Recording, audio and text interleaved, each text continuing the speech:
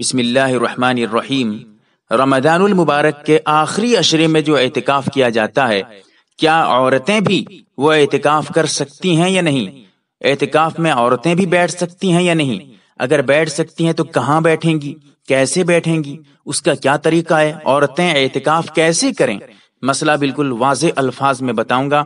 یاد رکھیں، سب سے پہلی بات کہ عورتوں کے لیے وہ اعتکاف کرنا بالکل جائز ہے اور ثواب کا کام ہے۔ عورتوں کو اعتکاف میں بیٹھنا بھی چاہیے۔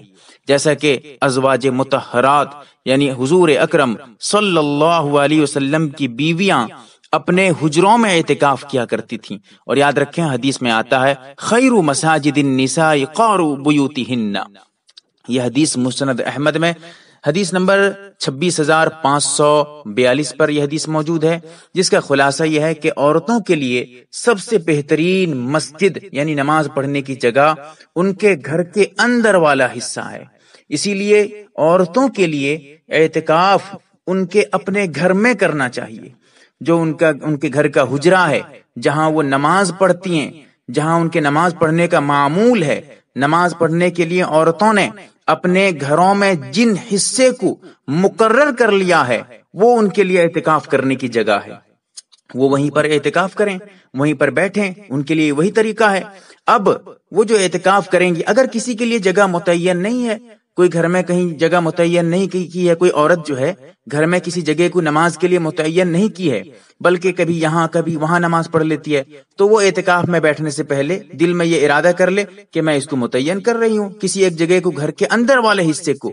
کسی کمرے کو، کسی حجرے کو، کسی روم کو بک کر لے۔ یہ سوچ کر کہ یہاں پر یہ نماز میرے، نماز پڑھنے کی جگہ ہے، یہ نماز پڑھنے کا کمرہ ہے۔ یہ سوچ کے اس کو مکمل بک کر لے یعنی اس کو جو ہے متعین کر دے، پھر اس جگہ اعتکاف میں بیٹھے۔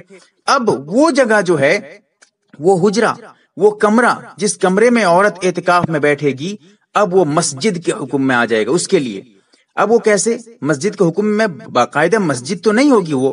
مسجد کا اس کو احکام، مسجد کے احکام جاری نہیں ہوں گے کہ مسجد جس طرح ہے، وہ اسی طرح مسجد ہے۔ ایسا نہیں ہے۔ لیکن ہاں جو احکام مسجد میں اعتکاف میں بیٹھنے سے جاری ہوتے ہیں، وہی احکام یہاں پر جاری ہو جائیں گے۔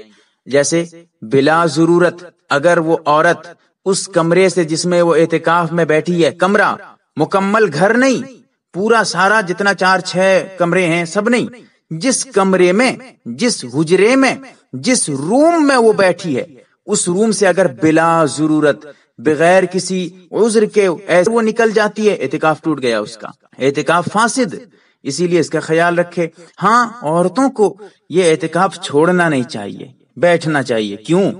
کیونکہ اعتکاف میں بیٹھنے کی وجہ سے ایسا تو نہیں ہے کہ گھر کا کام نہیں کر سکتی، وہیں پر بیٹھے بیٹھے ضرورت کے وقت بھی گھر کے کام و کاج کر سکتی ہیں۔ عورتیں اعتکاف میں بیٹھی ہیں، اگر ضرورت ہے، گھر میں کوئی زیادہ کرنے والا نہیں ہے، وہ وہاں بیٹھ کر سبزی بھی بنا سکتی ہے، کوئی بات نہیں ہے۔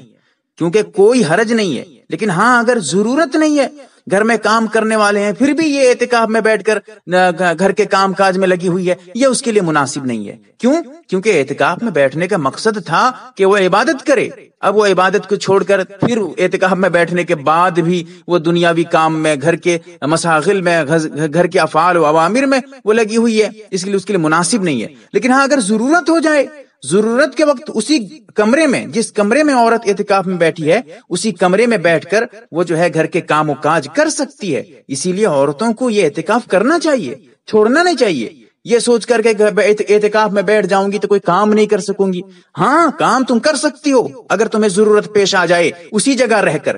اب وہاں سے نکلنے کی اجازت نہیں ہے، بلا ضرورت۔ ہاں جو ضرورت ہے جیسے پیشاب کے لیے یا استنجا کے لیے، بڑے استنجا، چھوٹے استنجا کے لیے، یا اور ضرورت، مثال کے طور پہ جو ہے سخت ضرورت کے وقت جو ہے جب نہانا اس کے لیے ضروری اور واجب ہو جائے، ایسی صورت اگر اس سے پیش آ جائے احتلام کی وجہ سے، یا اور جو ضرورتیں ہیں ان کی وجہ سے اگر وہ باہر آ رہی ہے، وضو کرنے کے لیے آ رہی ہے، بالکل آ سکتی ہے وضو کرنے کے لیے۔ اگر جو ضرورت، جن ضرورتوں کی وجہ سے مسجد سے نکلنا جائز تھا، عورتوں کے لیے اس کمرے میں، جن میں اعتکاف میں بیٹھی ہیں، وہاں سے ان کے لیے نکلنا بھی جائز ہے۔ بہرحال کچھ مسائل میں نے ذکر کیے ہیں۔ اللہ تعالیٰ صحیح سمجھتا فرمائے۔ انشاءاللہ اعتکاف کے متعلق میری مستقل ویڈیو آتی رہیں گی۔ اللہ تعالیٰ صحیح مسئلہ سمجھنے کی توفیق عطا فرمائے۔ آمین یا رب العالمین۔ یم اے آر بی دینی معلومات چینل کو سبسکرائب کریں اور گھنٹی والے نشان کو ضرور دبائیں۔ تاکہ ہم جب بھی نئی ویڈیو ڈالیں، وہ آپ تک پہنچ جائے۔ ویڈیو کو لائک اور شیئر ضرور کریں۔ واٹس اپ گروپ میں شامل ہونے کے لیے آپ اپنے واٹس اپ نمبر سے ایڈ لکھ کر میرے